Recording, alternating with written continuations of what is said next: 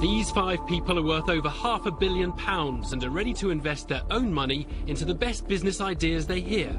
But can anyone convince them to part with their cash? I would never buy one. I'm completely not interested. You display to me what sounds like an astonishing lack of focus. If you carry on waiting for this to be a success, you'll starve. I don't think you're professional, and I am not investing in you.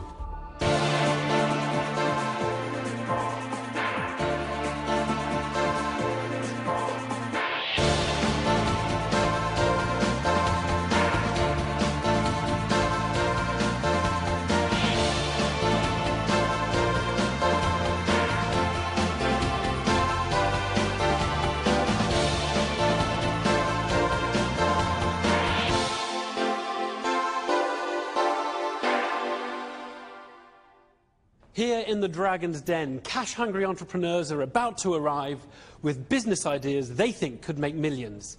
They'll pitch their ideas to five investors who could give them the money to get their businesses going. So who are our five investors? The dragons in the den. Our first dragon is Doug Richard, a Californian entrepreneur who made millions buying and selling software companies. He now runs Library House, a high-tech investment company in Cambridge. Duncan Bannatyne is worth more than £130 million. This Glaswegian entrepreneur has set up and sold several businesses and currently owns Bannatyne's health clubs, casinos and bars. Theo Paphitis made his £150 million fortune by buying failing companies and transforming them into multi-million pound businesses. He currently owns the La Senza and Contessa lingerie chains and Ryman's & Partners, the high street stationers.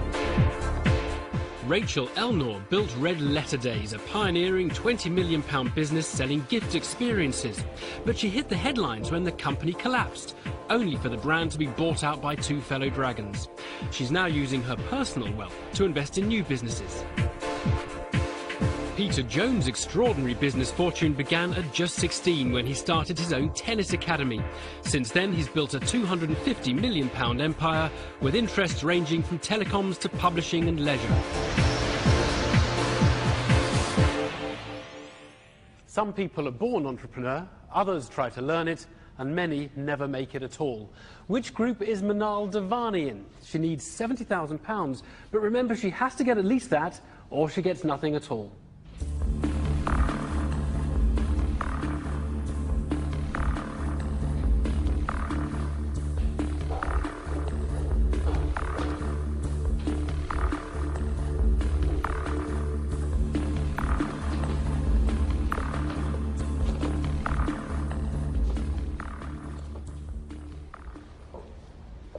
Afternoon, everyone. My name is Minal Devani, and we are looking for £70,000 of investment and someone who's going to be a fantastic coach and mentor for our business, Musty Games. So allow me to ask you a question. How many of you are familiar with Bollywood? Everyone? okay. Well, if I can tell you a little bit more about it. Bollywood is the largest movie industry in the world. It produces over 800 movies a year, which is more than twice the number of movies that are produced by Hollywood each year. Um, for those of you who have been to India, you would have seen that it's an absolute national obsession. It's, um, Bollywood is something that people are really passionate about. 1.4 million, um, sorry, 14 million people, 1.4% of the population watch a Bollywood movie at the cinema every single day. And then when you look at um, the whole the market for Minal's pitch is well underway, but so far she's failed to explain anything about the product for which she needs investment. It's also very significant. So there are 20 million people in the Indian diaspora, and for these people, Bollywood is something that provides a very strong connection for them back to the country that they come from, and it's a way of breaking. And the dragons are already starting to lose interest between older generations and younger generations for immigrant families, um, because you know, if you sit around the dinner table with any Indian family, particularly in India and also to some degree abroad, the conversation will invariably drift to, do you know what Amitabh's first movie was? Do you remember that line from that song? So, what's the concept?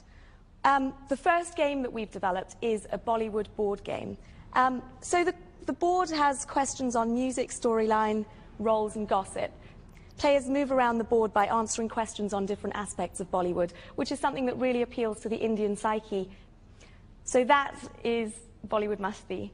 I'm very open to hearing your questions and I'd love to discuss it further with you. Meenal needs to persuade the Dragons to part with £70,000 to market her Bollywood board game. However, her long winded pitch has left the Dragons completely unimpressed. Minal, I'm Rachel. Hi, Rachel. Do you always talk so much? You were talking away there, and actually, every single person kind of switched off. And it's, it's an interesting thing when you're doing a pitch to actually judge how people are reacting to you because you need to sometimes temper your pitch according to whether people are receiving it or just Okay, switching well, off. thank you for the input. My perception was actually different. I thought people were engaged. Um, tell me about how what's led you to create this concept. Um, my background, this concept actually came out of business school. I was at Stanford Business School in the US, and one of the things that um, we do a lot of at business school, particularly at Stanford, is talk about entrepreneurial ideas. I'd spent some time in India and was really interested in tapping into the market there. I'm assuming that if you've been to Stanford and you've got an MBA, that you would know that you're standing in front of a group of investors asking for £70,000.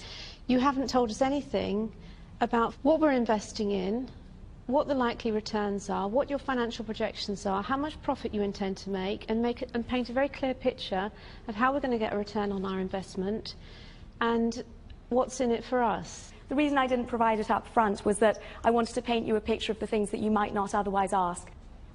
Minal, Yes.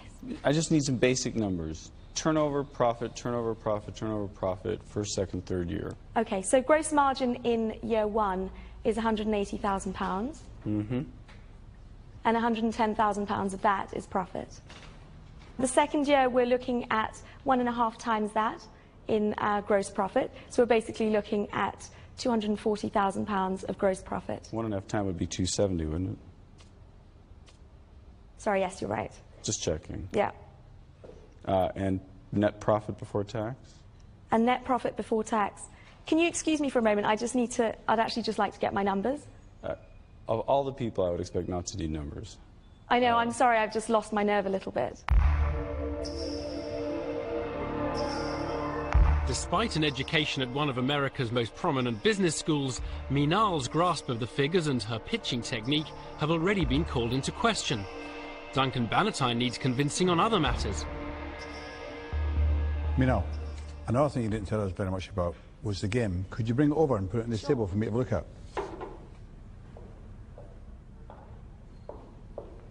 Um, so the way the game works is you start at the middle of the board. You roll the dice, move in any direction that you want to move in. There are four categories of questions in and line. the questions are about Bollywood films. That's right.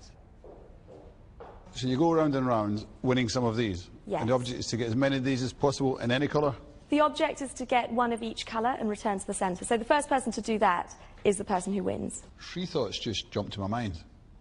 The first one is that these look so similar to a game called Trivial Pursuit. So it's really, I think, something that's not unique to Trivial Pursuit. It's kind of generic across a lot of games, but it works very well. My second thought is it seems very, very cheaply made. Really? Okay, yeah, that's interesting. seems like cheap cardboard. Well, just on the quality issue, actually, this is uh, the manufacturer of this actually does Hasbro's manufacturing for a lot of their international products. So it is up to Hasbro's international standards. still looks cheap to me. But, but, my, but my third concern is that it doesn't seem much of a game. Is that because you're not interested in Bollywood?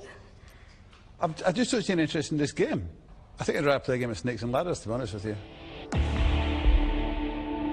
Duncan Bannatyne is clearly unconvinced by Meenal's board game, and he's already reached a decision.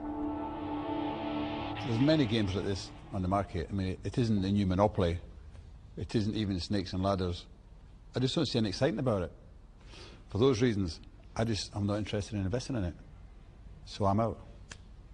Okay, thank you. I'm afraid it doesn't appeal to me either on a number of levels and I think I think the market for board games is just heaving and I just can't see any real differentiation and I think this is actually badly made. I think May it's I address that? But let me finish. I think it's very niche and uh, it just doesn't have investment appeal to me, I'm afraid. Neither Rachel Elnaugh nor Duncan Bannatyne have been persuaded that Minal's game will be a success, so they're out. She needs £70,000, but Peter Jones is about to stick the knife in. Well, now, hi, I'm, I'm, I'm Peter. Um, your opening pitch was probably the most boring, and uninspiring pitch that was all over the place with no real message or directional focus, no delivery, certainly not captivating in any shape of the imagination. And I've really struggled to try and get into this as a result. And let's be honest, anybody can create a board game. It's not difficult. And for somebody that's been to business school, I would have thought that you would have had at least a little bit more experience with saying, this is the opportunity, this is the market it's attacking, instead of the very woolly generics. I'm, I'm a bit shocked. So I'm going to declare myself immediately out from this investment. I won't be investing in you. And it's purely because I thought your pitch was far too long and totally uninspiring. With Peter Jones utterly unimpressed by Minal's pitch, her bid for investment is collapsing. She'll have to fight to get Theo Paphitis and Doug Richard on side.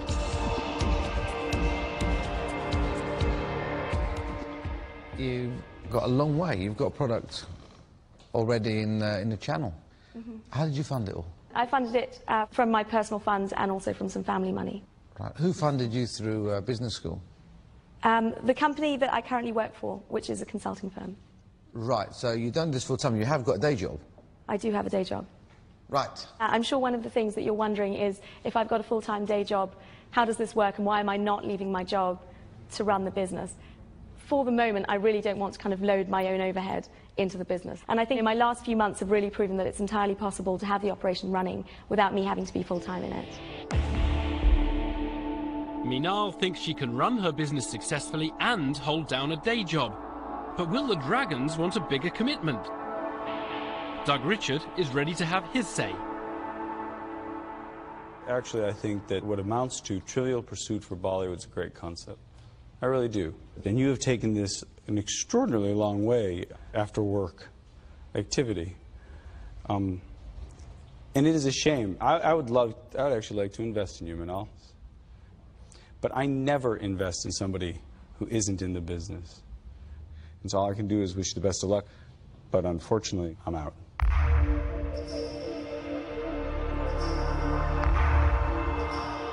Theo Paphitis is the only dragon left. There's, there's two reasons I'm not going to be investing in you today. So I'll tell you the bad news first, right? And that is, I think you made an absolute bloody hash of your presentation. The second thing, you're a long way down the road. I'm sure you can manage at the moment to take it to the next stage without an investor. So I'll wish you lots and lots of luck and look forward to seeing it on the shelves. Thank you.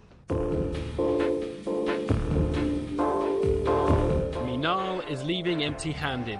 Her pitch lost the Dragons' confidence right from the start, and despite some interest from Doug Richard, she wasn't able to turn her fortunes around. I think that's one boring board game. Trivial Pursuit for Bollywood, I actually think that's a good idea.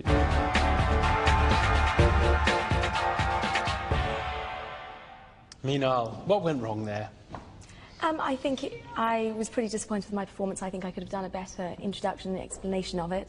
I unfortunately just lost my nerve, which was a real shame because I did have a great pitch. And they had you on the back foot right from the beginning in a way, didn't they? I think it's actually pretty unnecessary. You know, I don't think um, I don't think really good investors have to be that brutal.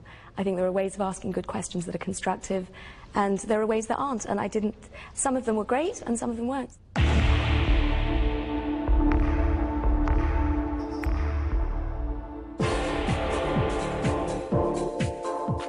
All the entrepreneurs who face the Dragons think their business is on the verge of success. Next into the den were Edmund Green and Paul Gins, who wanted cash for their environmentally friendly coffins and burial sites. Natural burials are burials that take place in woodlands or in meadows or indeed in any site that is managed as a wildlife area and not as a traditional cemetery. Edmund, my first question has got to be, is the coffin empty? Yes. But not for long. Theo Paphitis was so impressed, he wanted to try it for size. Never go. Let's see if I get We in have there. one that would fit you a treat. Oh, how keen he'd be on. That's perfect, well, isn't it? Yeah, go on. The Dragons wanted to know if it was a dead-end business. It's been operating for six years. Yes. Has it been making a profit every year for the last six years? Not every year, no. In the six years, it's made an overall profit of 3,700. So it's not doing very well then, is it? It's making very modest returns. Their poor figures cost them dearly. It's not profitable enough to be an investment that I would go into. Proved your business doesn't make any money. There's nothing in it. So I don't know why you're looking for an investment. Peter Jones put the final nail in the coffin. I can see that, you know, you've got, you- you're burying people. I, I personally think you should bury the business. Now, the Dragons can be attracted to high-risk investments if they promise a chance of a big return. Paul Cockle from London has a high-risk proposition. Can he persuade the Dragons to give him £160,000?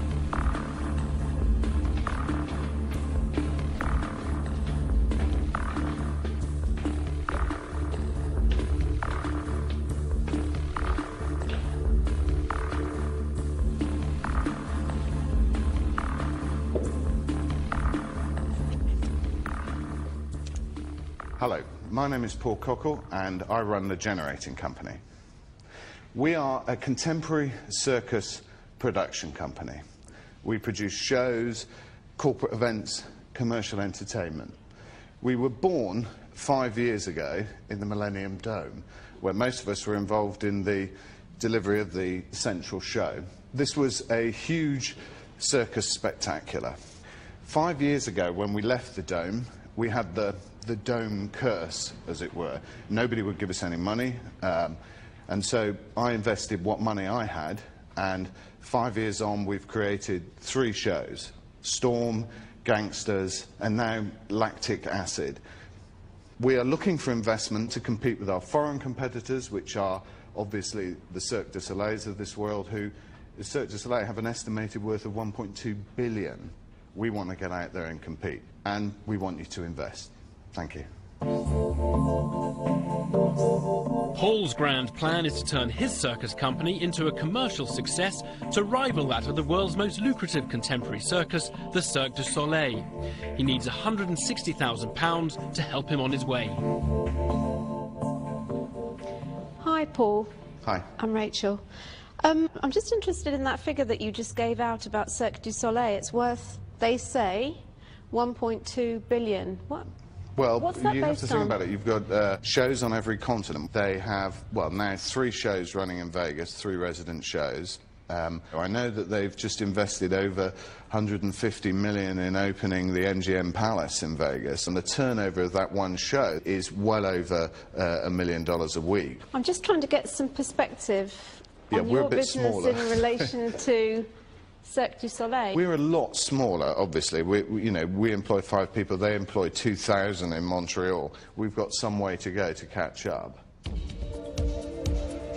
Paul certainly doesn't lack ambition, but with only five employees, replicating the success of the 2,000 strong Cirque du Soleil will be an enormous challenge. It'll be tough for him to convince the Dragons he can pull it off. What was the last show you put on? The last show we put on was uh, Lactic Acid in the Laban uh, in um, southeast London. How long did that run? What were the tickets? It was only three nights. It Why? was a well, it was a showcasing preview show, and that's the show we're now going into full production with. So you're looking for investment to produce a show, is that right? No. No. No, no. We're looking investment in the core team, constantly pitching ideas, creative solutions for your product launch or commercial entertainment or the actual devising of our own show. We've launched the Audi A8 in eight cities in Germany. We've launched a range of Speedo swimwear with uh, acrobats all sort of swimming over the audience. And we're launching a hotel for Butlins where we have all the acrobats sort of hanging off a truss on a crane over a big sort of urban ship with dancers and singers and, uh, and what have you. We are an arts-based business. Paul, can you just tell us um, about lactic acid? Yeah. What's it about? It, it's a show about the body. Uh, it's um, a fusion of dance and circus and new electronic music to actually describe it, it- what happens to the body when it overexerts itself and produces lactic acid.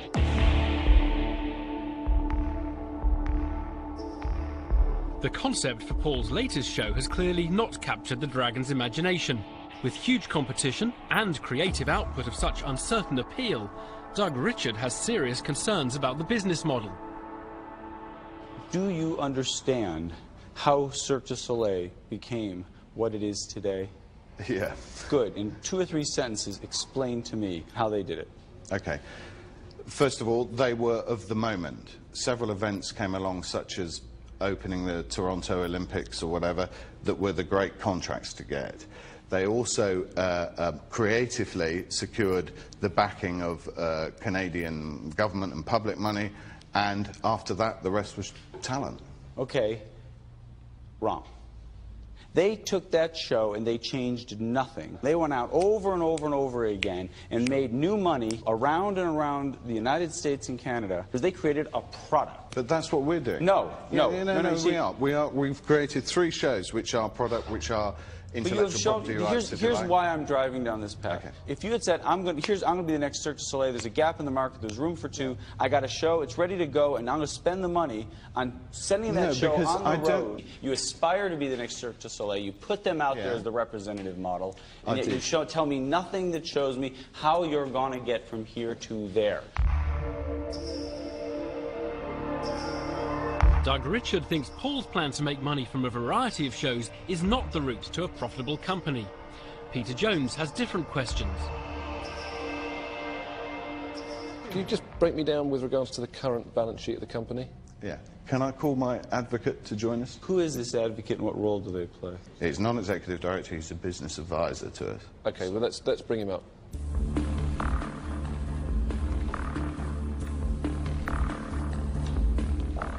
This is David Elliott. David and Peter, welcome. Um, what's going to be the business over the next six months? And the business breaks even at about 600,000 turnover. It's heading for 800,000 plus this year. Okay, so the business is going to be profitable this year regardless, and that's a Yeah, fact. yeah. Yeah. Gentlemen, um, the type of revenue you've been creating, it's newly earned money. You got to create a new concept each time and re-earn the money. Where is where is the replicability? Where's the scalability in this business? Uh, I think there's, there's several it, there's several relationships with different event companies that might well come back and book us. That's the same customer There's- and a new product. Yeah, and within that, we also have several major sort of commercial or corporate shows that we sell into different events. Despite his efforts, Paul is still struggling to convince Doug Richard he can make his dream a reality.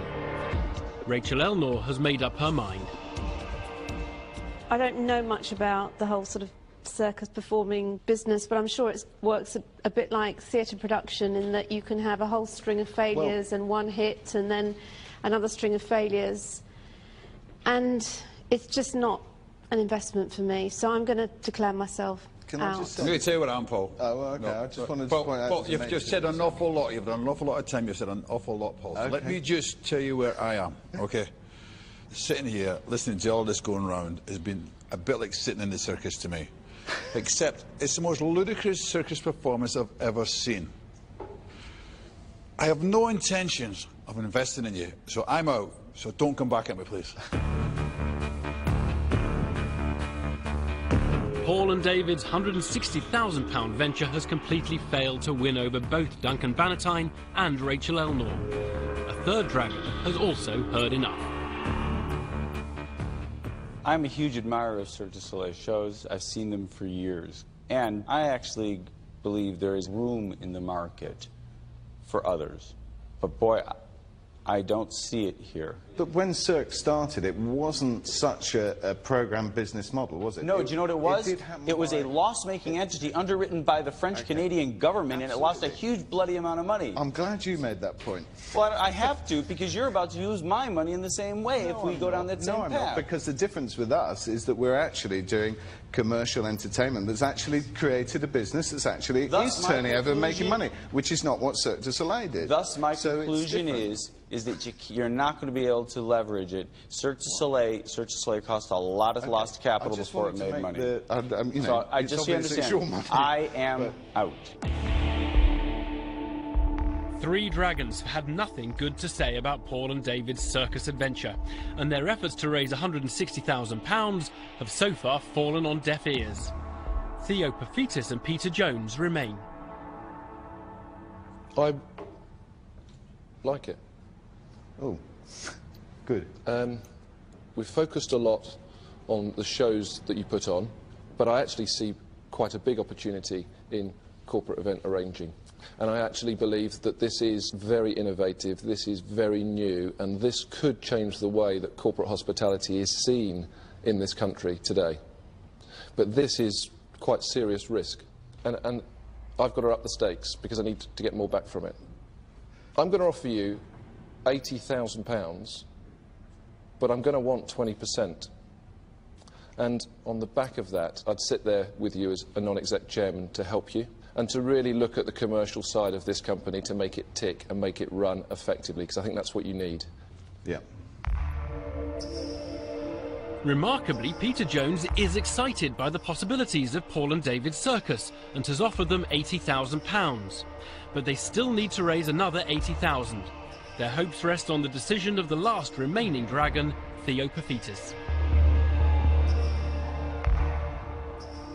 If Peter's going to go on the board as chairman, and he's saying that he will play an active part in this business, then I will risk eighty thousand pounds of my family's money, but in return, I would also like to have twenty percent, or otherwise, I'm not interested.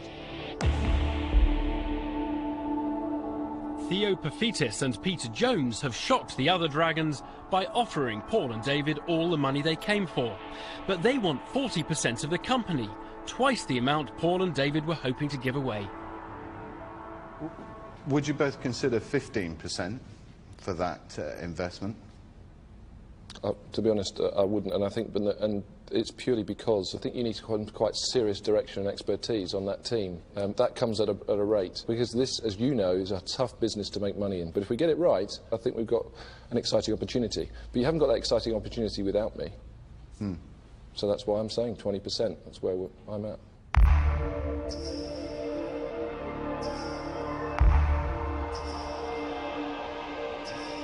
It's decision time for Paul and David. It's a once in a lifetime opportunity, but will they be prepared to give up 40% of their company?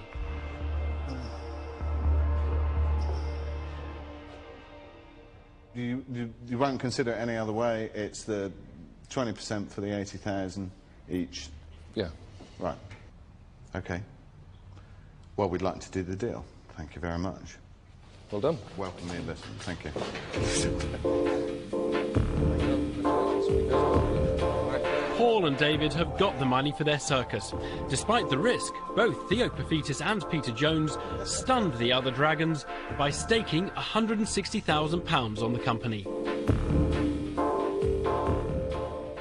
Well done, guys. Congratulations. First, congratulations, but I think you truly have underestimated the amount of time you are going to be sucked into this. It's high risk, but I, sti- I can still see corporate events. We both said Yeah, it. Yeah, we both said We exactly the same thing. We both know Immediately. huge opportunity, which, to be fair, they majored on the show.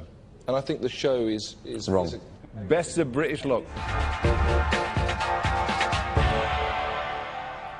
Well, Paul and David, I bet you didn't think you were going to get that halfway through the whole affair. No, I was feeling that we were uh, going to. I thought we, for a while we were going out there as the cabaret act, but uh, it came good. And um, uh, and of course, you forget all the figures, you forget everything. you- so, but it worked out. You did so- all right, yeah. Now, uh, they drove a pretty hard bargain, but it didn't take you very long to make up your mind. I thought that could have, negotiation could have gone on a bit longer. I think Dave wants to negotiate. That wanted to negotiate more than me. I just thought, let's do the deal. Well, we really look forward to see how that gets on, and you can uh, maybe go and have a stiff drink. I think so. Yes. all right. Thank you very, Very, much. very very well done. All right. Well No, done. thank you. Thanks.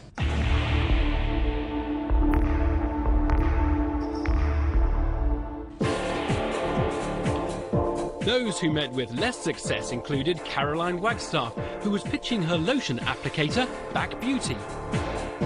What is the part of your body that most people cannot reach? And of course, it's your back.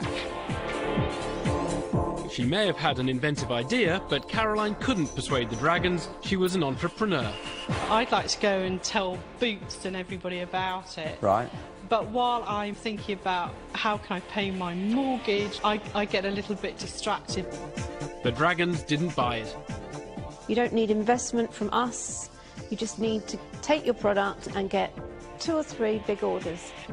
You need to find the time to get on the phone and knock on doors. It's down to you. Next up was William Profit, who came with his multifunctional sports jewellery for tightening screws and football studs. I plan to do these products in platinum as well, so we can tap into the Beckham effect. You really think David Beckham would wear one of these? Obviously, he might not want to wear it because millions of people are going to eventually wear it, but we need someone like him to create the catalyst. While Duncan Bannatyne was dubious about the Beckham effect, Theo Paphitis had concerns about William's screwdriver necklace. If you took a nasty fall without hanging around your neck, it would do a serious amount of damage. Well, a lot of people wear crucifixes. This is not a crucifix. William was sent home with some words of wisdom. If you want to go and stand in the street corners and give it away, you'll be very successful at that. But there's nothing else to do with it. And so for that reason, I'm out. Sport was order of the day when Patrick Kelly pitched his free magazine, London Sport. But he couldn't even get off the starting blocks. The magazine is is addressing the need for a, a list, a guide for a guide. Uh, uh, let's, let's start again. And there was worse to come. Did you rehearse your presentation and your pitch? And, and what circulation you're you trying to build up to? Um, Do you have any figures? You must have some figures. Doug Richard was having none of it. You're wasting my time. I'm out.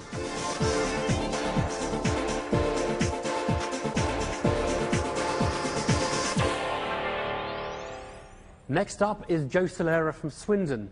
His business proposal came out of a university project that can he turn an idea into a profitable business?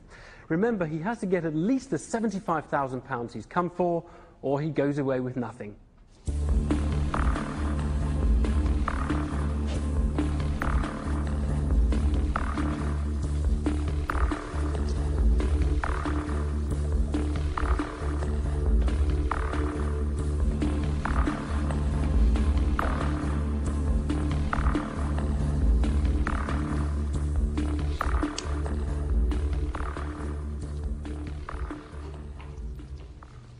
I could, before I start, just explain that because of this beam, I can't extend it to what would be a typical ceiling height in a home, so I've had to not put it up so high, so...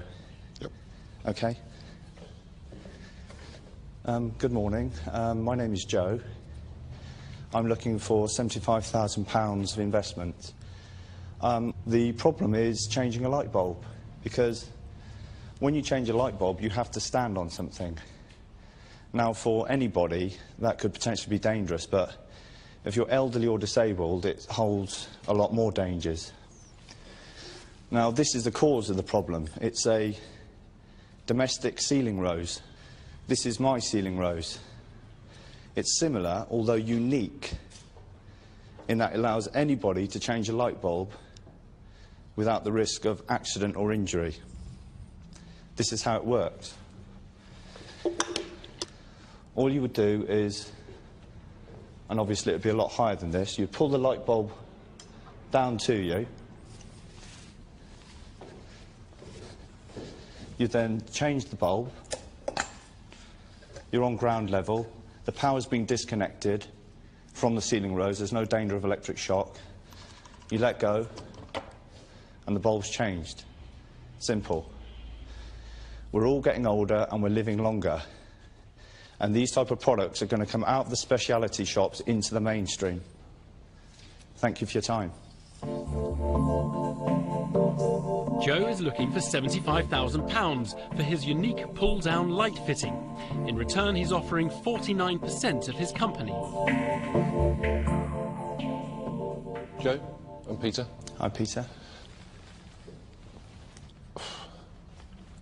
Where do you come from? What, what, what got you to here? What got you to come up with this I've- amazing idea? I thought of this idea when I was doing a project at university where you had to design a product to help elderly people remain independent within their own home. How old are you now? 39. Christ, what, when did you leave university? 96, I think, and I work for an American, American company designing orthopedic implants and surgical instruments. That's what you've been doing for the last five or ten years. Yeah, five, five, six years, yeah. Joe, let's get into s- Okay. some specifics then very quickly. Yeah. What is the addressable market? How many people potentially will buy this product? Well, people in the past have mistakenly thought of these type of products as special products, but they're huge market opportunities. The over 50s control 100.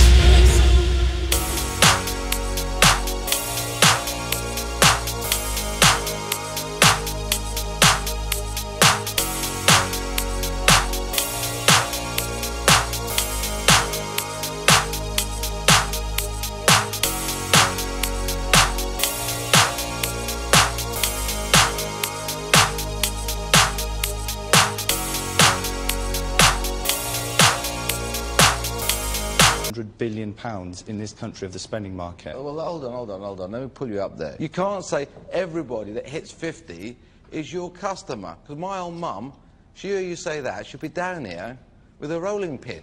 Because she prides herself on being able to change her own light bulb. That's- So there is a market, but it is a specialist market. Don't assume that everybody over 50 is going to require a wheelchair, a bath chair, and one of your ceiling roses. New houses have to conform these days. The light switches have got to be a certain height. That's regulation. The doorways have got to be a certain width. I, I might perhaps target the housing associations, the builders building new homes to have them installed. The, the reason why James Dyson has been successful is because he's managed to persuade people to buy his product. Whether his product's any better than But his exist- product is for the whole market that uh, buys vacuum cleaners. I'm saying Your with- product's not. I'm saying with the, with the right marketing, perhaps, and the right Okay, how are you going to market it then? Well, I'm, I'm stood here today because I'm looking for someone to invest in me and my idea that can tell me that. You know, I need to be stood on the shoulders of giants. Unfortunately for Joe, his extraordinary attempt to win over the Dragons has bemused rather than impressed them, and his vague grasp of the market has put off Doug Richard. Joe, I have no idea why I would invest because I don't know whether there's a sufficient number of people to buy it. You might be a good product designer, but you're not an entrepreneur, and that, that's that, that's fatal for me. So I won't be investing today. With no clear evidence there's actually a market for his idea, Joe has lost the interest of Doug Richard. Duncan Bannatyne wants to know more about the product. What would this cost to buy in a shop? It may cost to have it produced in China £1.50, £2, and it retail for £8, but I'd like to be less than that. Okay, what does this sell for in the shops? That can cost anything from a pound to £2. And that's going to be £8. At, at the complexity of mine compared to that, it could be, it is going to be more expensive, but it gives you more benefits. It is going to be more expensive, it's obvious. I tell you what, why, why do they keep packaging these things like this? Old people can't get them open, you know. No, I, I made those packets. I just. I can never get them open. Uh, yeah, but I wanted you to visualise this product as though it would be if it was invested in and it was in a shop, as though you picked it off a shelf. Is it, this isn't on sale then, because No. it says here focus DIY. That's just a model. This doesn't exist. This is just a demonstration model. Oh, so it's not. Part of the investment I'm looking for is to actually take this into research and development to produce Ah. a pre-production working prototype. You have not as yet built a pre-production model or anything. This is, at the moment, these are mock-ups, Yeah. which you've mocked up.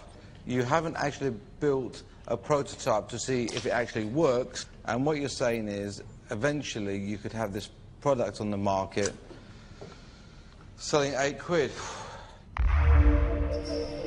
Joe has come to the Dragon's Den with no idea if his product even works.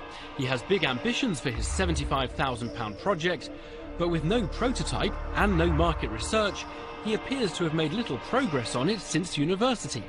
Joe, you're so early on the day. I can't make a decision on the product because I don't know if it works. It certainly can't hit the market I think you are targeting. It's a very specialist product, but it's not something for me, so I shan't be investing. Theo is out, and Joe's confidence is shrinking. Now he must hope that Duncan Bannatyne, Peter Jones, or Rachel Elnaugh will invest the £75,000 he needs. Before you go and spend any more money on design consultancies or, or anything, go and actually find is there a real market? Is there anyone who's going to buy this? Because I suspect if there is one, it's very, very narrow. And it's not something I would invest in. Rachel Elnaugh is the third dragon out, and Joe's hopes for investment are slipping away. Duncan Bannatyne and Peter Jones are the only dragons left. Joe, I don't think there's any chance of this selling in big quantities in places like B&Q. I don't think it's going to be a big seller, ever. Okay. Um, so I'm definitely not going to be investing in you. Okay. Joe, um, I actually think it's quite a good little idea. Um, this isn't a business, though.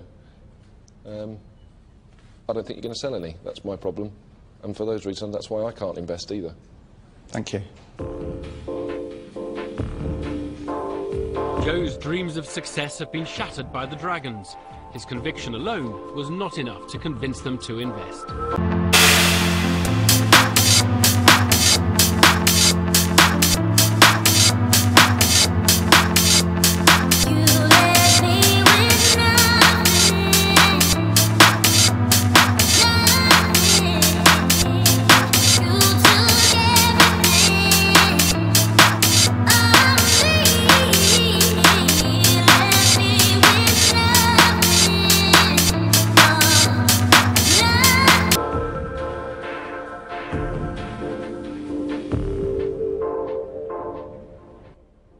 Joe, you're looking a, a tad shell-shocked, but it wasn't that bad, was it? No, it was okay. I, uh, I came here with a simple plan, and I knew it was a big risk, a high-risk investment. It's a concept that needs developing. It doesn't exist as a product. But you're not going to give up, though. No, no, I, I, I'm realistic about my product. They, they might be well off enough to have people do things for them when they get elderly, but one day these people will realise that they won't be able to walk up the stairs in their house when they're 70 years old, that they'll have problems changing a light bulb.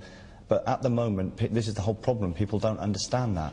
And it's hard to sell this vision to younger people.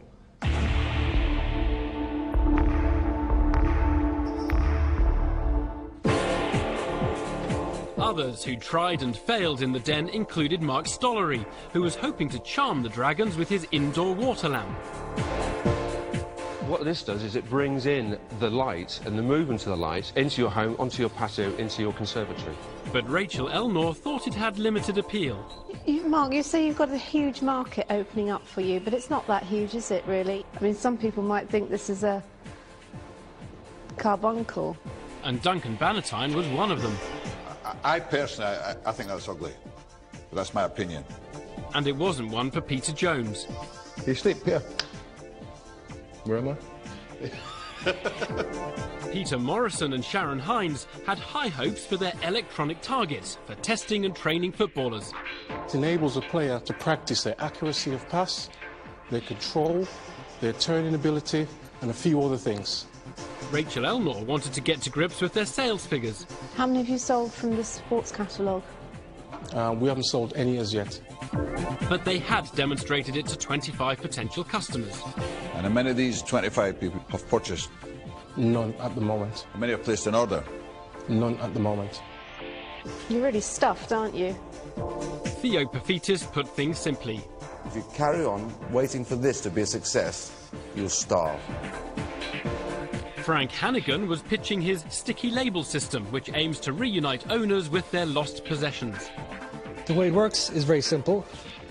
You buy your labels, you put them on your mobile phones or your laptops, and if you lose it, we get it back for you.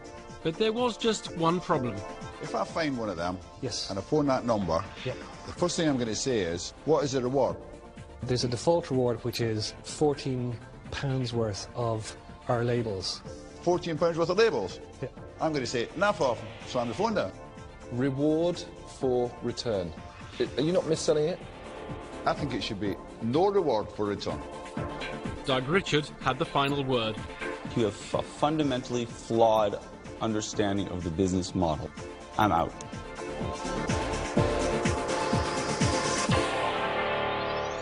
Next to face the Dragons is 25-year-old Thomas O'Connell from County Monaghan in Ireland. Now, he set up his business straight out of university, but he wants the Dragons to help him build on what he's achieved. He's looking for £200,000.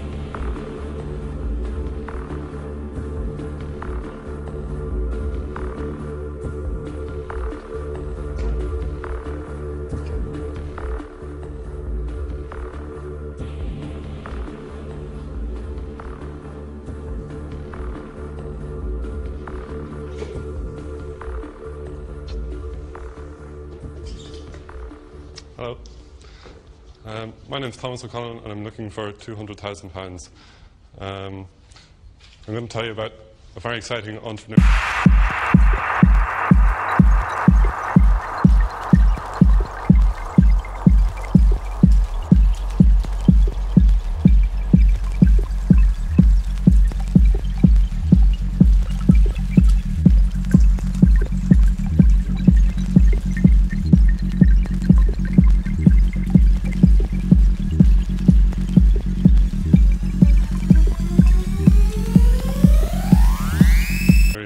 Called Atomic Sports, which is my company.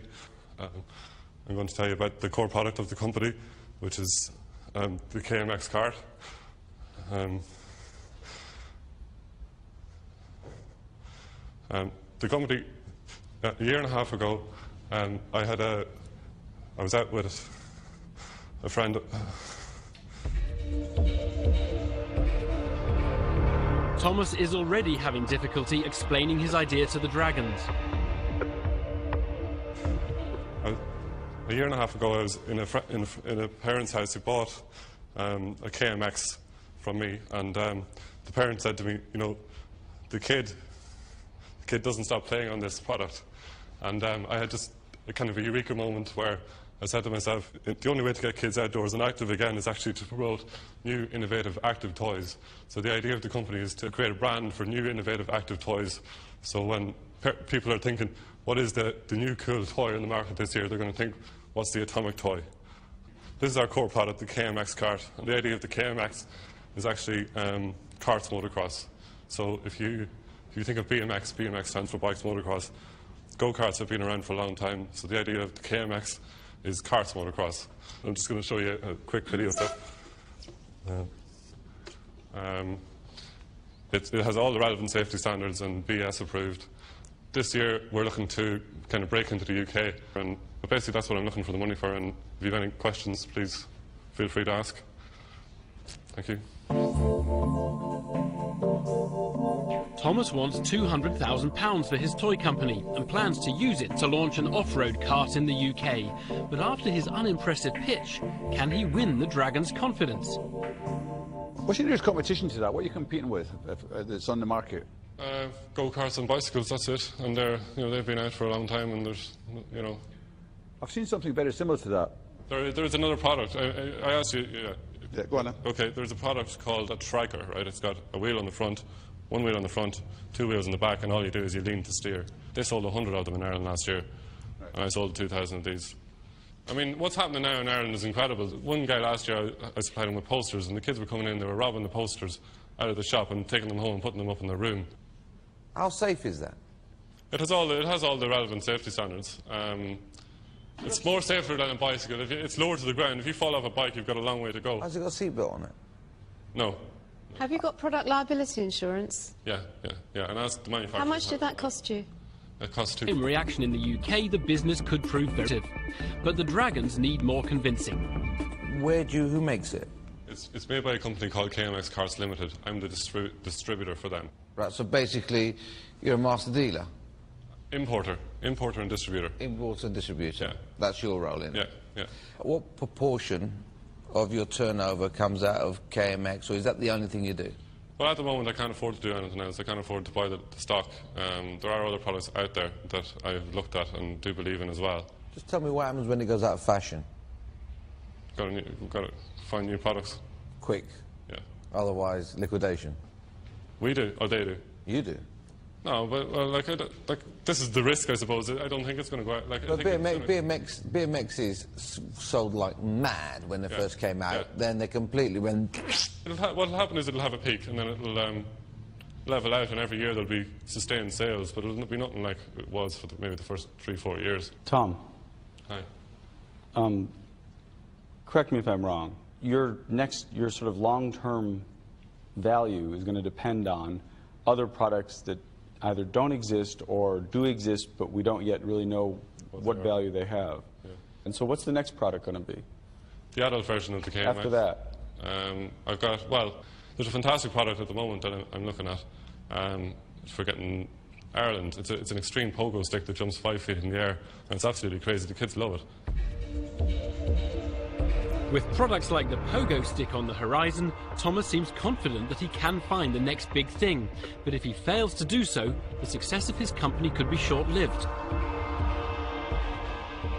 Tom, I think you actually have the potential to have a really interesting distributorship. I think you've got a nice, clear vision for it.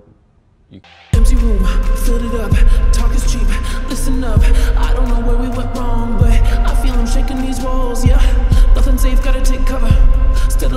make glitter. Running and running, yeah, we got off track. Now we under attack.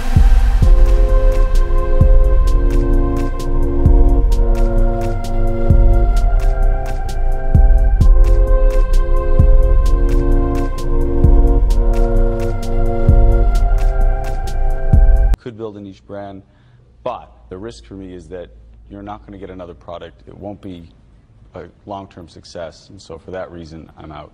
Okay. Sorry, it isn't one for me either, so I'm out as well. To invest in Thomas's business at this early stage is risky, and Rachel Elnaugh and Doug Richard are out. Luckily for Thomas, another dragon sees things differently.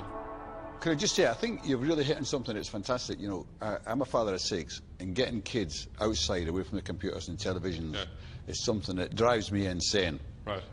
I think it could be a, a, a goer, but I've got one very serious question for you. Yeah. Right? Do you have the sole rights to import those? In the UK and Ireland. Yeah. UK and Ireland. Yeah. You've got sole rights. Yeah. You can guarantee that. You can show me a letter giving you sole rights. No one else can import those in, in Ireland or the UK. No. No. Right. You're asking two hundred thousand pound for fifteen percent of the company. How negotiable is the fifteen percent? It's not that negotiable. I'm almost going to say I'm not interested. I'm very close to it, and it's only the only your biggest problem is, is the percentage. Yeah, but um, let me let me explain. Right, it's got okay, 2,000 units sold in Ireland. Right, the size of the UK market is 10 times the size of Ireland, at least. If I sell 10 times, you know, just in one year, uh, you know, if I only sell 20,000 units, it's going to make Tom, close Tom, to 2 million euros. Stop trying to justify it. You've got a bloke who's nearly about to invest. You've got a bloke here that's interested. If you can uh, capture our imagination with your percentages, you might get people here who will invest. But this isn't a startup company. I can't like that's not it's not really fair to go. Uh, uh, you know, I've made a profit already. on a, on a lifespan of a product that might be dead tomorrow. So we're relying purely on you finding a replacement product. That product could be dead and buried, our money gone down the spout, and we're relying totally on you finding a new product. That, my old son, is a startup. Thomas's unwillingness to negotiate has angered Theo Paphitis and Duncan Bannatyne, who both want to do a deal. While Thomas is insisting that his business isn't high risk, Theo Paphitis wants to prove him wrong. Listen, you've got one product, and we've got you. Do you know what your debtors and creditors are? Yeah, my debtors are s- around 70,000 euro. so you've got 70,000 debtors, euros, and creditors?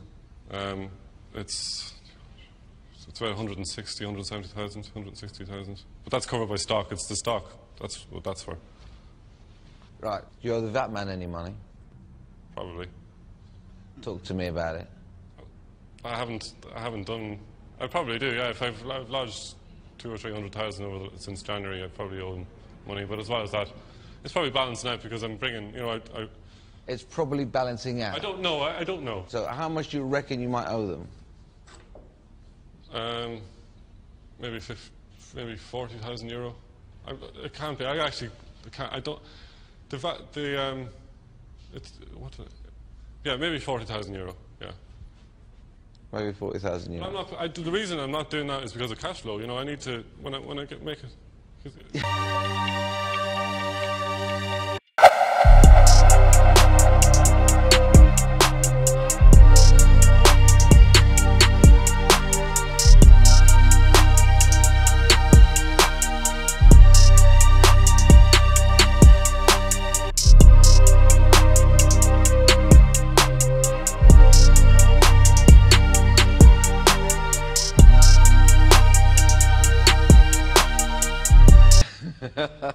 you've been in the same. Have you started up your own company? Yes, many you've been in the times. Same position. Many times. No, I always pay the VAT man.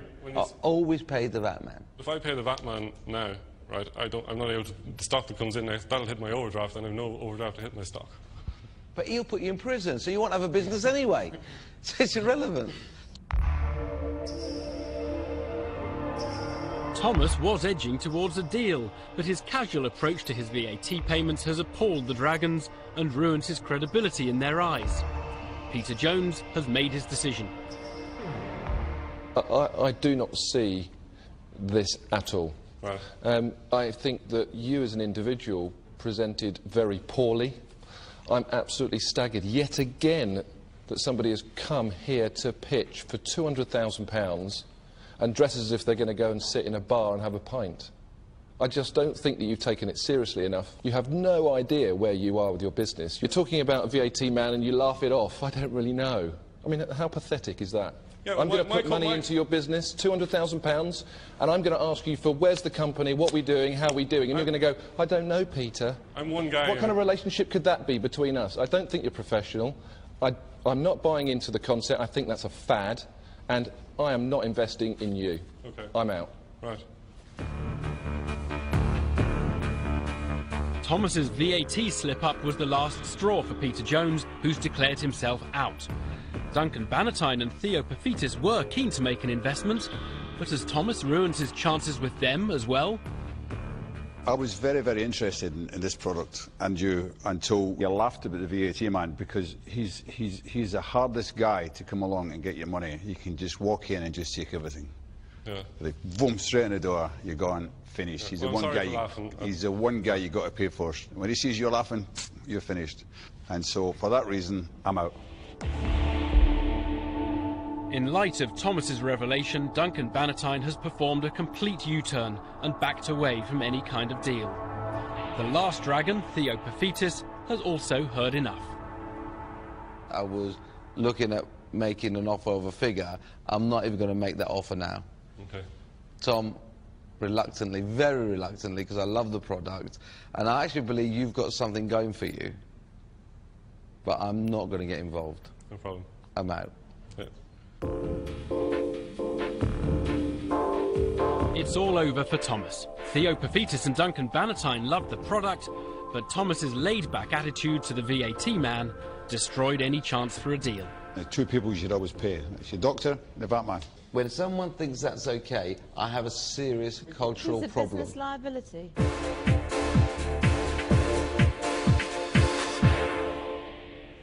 So, Thomas, seriously investable or seriously uninvestable? Yeah, I just think it was down to like the the VAT thing. Like, um, You got it, I think. I mean, you were in a bit of a confusion, weren't you, or not? Or did you feel you, you knew exactly what you were saying there? yeah, he was. He, he, I felt a bit insulted about the way he, he was going on about, um, you know, how I wasn't paying the VAT and stuff like that. I think, you know, I'm an entrepreneur. I'm taking risks. And then, as for the product itself, there was a question mark, wasn't there, over whether it's just a fashion, whether it's going to fly and, the, and then flop. I think any kind of anybody with an entrepreneurial eye would see that the product's going to take off.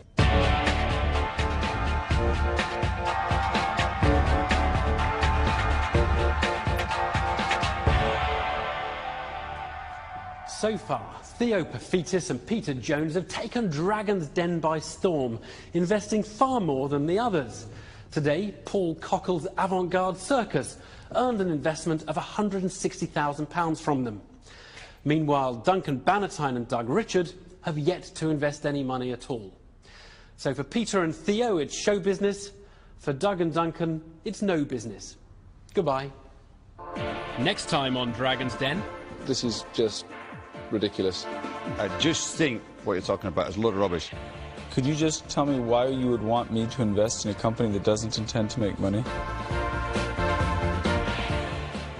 To find out how some of the entrepreneurs who pitched in the first series of Dragon's Den have fared over the past year, tune in on Wednesday evening next week at 7 o'clock on BBC Two.